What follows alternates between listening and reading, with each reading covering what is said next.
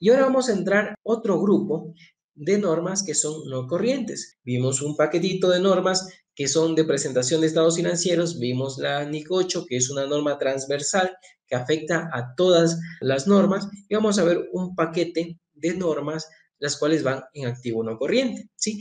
Anteriormente le llamábamos activo fijo y todo era activo fijo, ahora ya no existe el activo fijo, ya eso no se debe presentar.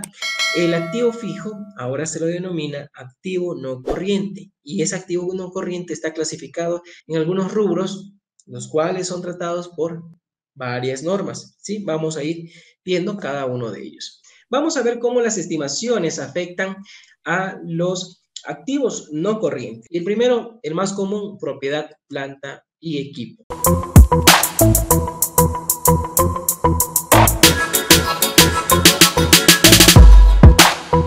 Tenemos allí los activos que usa la administración para poder realizar su actividad económica, ¿sí? Si es una, una compañía de transporte, son todos los activos, por ejemplo, la oficina, que sería el edificio, el terreno, si tiene un garaje, los vehículos, todos los muebles y enseres, todo eso que utiliza para poder desempeñar su actividad ordinaria, corresponden a propiedad, planta y equipo en la cual hay que determinar algunas políticas, política de capitalización, política de valoración, si se lo valora al costo o valor revaluado. Inicialmente, propiedad, planta y equipo se lo mide al costo y al momento de reconocerlo puede capitalizarse ciertos otros desembolsos que ayuden a esa propiedad, planta y equipo a que esté lista para su uso. Cuando esté lista para su uso, comenzamos a depreciar. ¿Sí? Y después al cierre de cada ejercicio hay que hacer una medición y esa medición es posterior. Utilizamos nuestra política de medición posterior. ¿Cuál es la, la que elegimos? ¿Al costo? ¿Seguimos manteniendo el costo? ¿O a valor revaluado? Y como todas las normas tenemos un reconocimiento, después del reconocimiento tenemos una medición inicial y una medición posterior. La medición inicial, casi en la mayoría de normas la medición inicial es valor nominal al costo y lo complicado es la medición posterior. Entonces, por ejemplo, aquí tenemos como política contable, diga usted, escoja, ¿quiere medir posteriormente al costo o a valor revaluado? Y aquí podemos ver dónde vamos a estimar, dónde se utilizan estimaciones contables. Nosotros tenemos que estimar el valor revaluado. ¿Cómo lo estimamos? Con base a nuestro juicio profesional. ¿De dónde sale nuestro juicio profesional? Con base a información. ¿Sí? Entonces, esa información puede ser el resultado de un informe, de un eh, perito evaluador que le dice este terreno, este edificio, ¿sí? Esta maquinaria tiene este valor, ¿sí? Entonces, allí hay muchas estimaciones. Para poder determinar el valor de, ese, de esa propiedad planta y equipo, se tuvo que utilizar algunas estimaciones para poder justificar ese valor. Y esas estimaciones, como vimos, tienen que cumplir con las cualidades de la información. Íntegra, fiable, prudente, ¿sí? tiene que prevalecer la esencia sobre la forma, entre otras cualidades que tiene que tener la información financiera. ¿sí? Entonces tenemos que revaluarlo. Si es necesario, buscamos un perito evaluador que nos dé un valor razonable en el mercado. ¿sí? ¿Cuál es la diferencia entre esta otra norma que es propiedad de inversión? La propiedad de inversión es más sencilla, solamente son terrenos y edificios, terrenos y edificios los cuales no son usados para la actividad económica de la compañía, sino que se los, se los obtuvo para qué? Para obtener una plusvalía, para obtener un rendimiento, ¿sí? Un terreno que lo compré y aún no tengo un fin en específico, pero estoy ganando plusvalía por el pasar del tiempo de ese terreno. O un terreno que lo tengo para arrendarlo. No es mi giro el negocio principal, pero obtengo renta por ese terreno. De la misma forma, si es un edificio, un edificio que no lo uso para mi actividad ordinaria, sino que lo uso para un fin particular que es el arrendamiento, pero mi giro el negocio es otro en principal. Entonces, eso es propiedad de inversión y al inicio se mide el costo y medición posterior se va a medir al valor razonable, ¿sí? Al valor razonable, ya no al valor revaluado, sino al valor razonable, que a la final es el valor de mercado, ¿sí? ¿Cuál es la diferencia entre una medición posterior de propiedad, planta y equipo y una medición posterior de propiedad de inversión?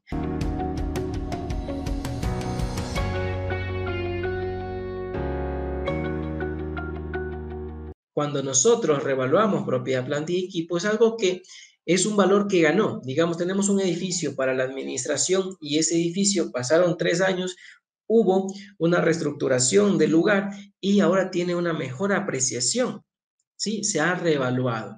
La compañía esperaba que ese edificio se revalúe. No, fue un valor adicional. ¿Sí? Por eso esa valoración, ese incremento va al patrimonio, porque es algo que no esperaba. ¿Sí? La compañía no tiene propiedad, planta y equipo, el edificio donde está la administración. No es el objetivo ganar renta, el objetivo es usarlo. Por eso, ese superávit por revalorización va a patrimonio.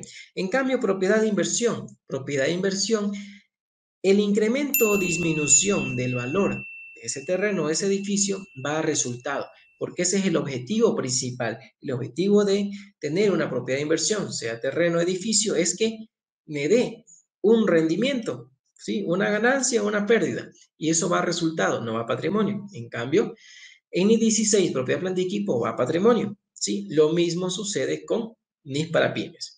Como nosotros determinamos el valor razonable, tenemos que ir en NIF para pymes, ir a las 3I, ¿sí? Una transacción independiente, partes interesadas, debidamente informadas, 3I. Es una transacción con valor razonable. Quiere irse a NIF completas, tiene que ir a la NIF 13, que se llama valor razonable. Y ahí tiene que ir a ver a un mercado activo. Si este activo, propiedad de inversión, por ejemplo, un terreno, existe un mercado activo para ese terreno. ¿sí? Si existe, eh, ¿a qué valor se está vendiendo un activo, por ejemplo, un terreno, de esas características? Entonces, vaya y determine un valor. Vea las opciones de valor y estime, elija, de acuerdo a su juicio, cuál es el valor que más se adecua para su transacción. ¿sí? Entonces aquí también estamos utilizando estimaciones contables. Tenemos otra norma que es la NIC 38, activos intangibles. ¿sí? Un punto importante aquí en activos intangibles es que un activo intangible no se lo puede construir internamente. Uno no puede reconocer inicialmente la marca. Por ejemplo, yo soy una compañía eh, que tiene una marca grande, por ejemplo, puede ser eh, Pilsener, ¿sí? O cualquier otra compañía que ha ganado, ha ganado una, una trayectoria, ha ganado un reconocimiento, ha ganado su marca. No se puede la compañía, ¿sí? Por sí sola reconocer un activo internamente, ¿sí? A menos que cumpla ciertas características que tiene que pasar por unas fases, ¿sí? Por ejemplo, una compañía de, creadora de software, tiene que pasar por una fase de investigación, desarrollo y terminar con el producto. Entonces, todo lo que se invirtió en la fase de investigación, todo eso va al gasto, no se capitaliza. Cuando ya llegamos a desarrollo y cumple ciertas características, puedo yo capitalizar internamente a un activo intangible. Sí, ese, esa es una complicación al momento de crear un activo intangible internamente. Pero cuando nosotros compramos un activo, compramos una marca, pagamos una patente, una franquicia, todos esos activos, cuando compramos un software contable, esos activos intangibles que no tienen una presencia física, se los reconoce ¿sí? cuando los compramos, ¿sí? se los reconoce como activo. De igual manera que estos otros activos de acá, se van a capitalizar, en el momento del reconocimiento inicial, se va a capitalizar todos los gastos que yo incurra para poder ponerlo en uso ese activo, ¿sí? Y va a tener al cierre del ejercicio una medición posterior. Y de igual manera tenemos política contable que elegir. Sus activos intangibles los va a reconocer posteriormente al costo o al valor revaluado. ¿sí? Eso es una política contable que usted debe elegir. Por ejemplo, aquí pueden haber otros cambios de estimación. Puede haber el cambio de estimación de la vida útil, ¿sí? de, de los activos intangibles. Puede que este activo intangible se determine un valor residual y después por situaciones, por eventos, internos o externos, se determina que ese valor residual ya no existe, ya no vamos a poder obtener un, valor residual al final de su vida útil. Muy bien, ¿qué más tenemos en no corriente? Tenemos un tema de costos por préstamo. Nosotros tenemos que tener presente que las normas internacionales de información financiera ya pasaron de ser normas contables, normas internacionales de contabilidad, a normas financieras. El concepto de financiero es el valor del dinero en el tiempo. No es lo mismo el dinero que tengo yo en este momento que en el futuro. Por eso muchas veces utilizamos valoración presente. En muchas ocasiones en las normas ustedes van a escuchar traer a valor presente, porque no es lo mismo el dinero que yo voy a obtener o a desembolsar en el futuro que en el momento actual. Por eso dice traer a valor presente. Eso es un tema importante en la parte financiera. Y aquí viene el costo por préstamo. Nosotros cuando invertimos en activos no corrientes, una compañía cuando invierte en un terreno, compra un edificio, compra una fábrica, no tiene efectivo allí para poder cancelar. Y si comprara con efectivo, posiblemente sea una mala gestión. ¿sí? Normalmente los activos no corrientes son financiados con deudas a largo plazo.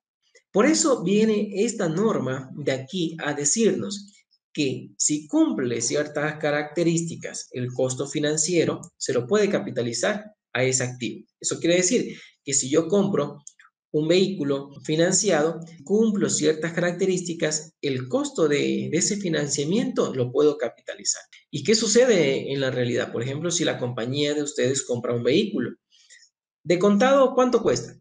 De contado cuesta unos 15 mil, pongamos. Y a crédito, a cinco años, ¿cuánto cuesta? Unos 25 mil. ¿Qué valor ustedes registran en su contabilidad?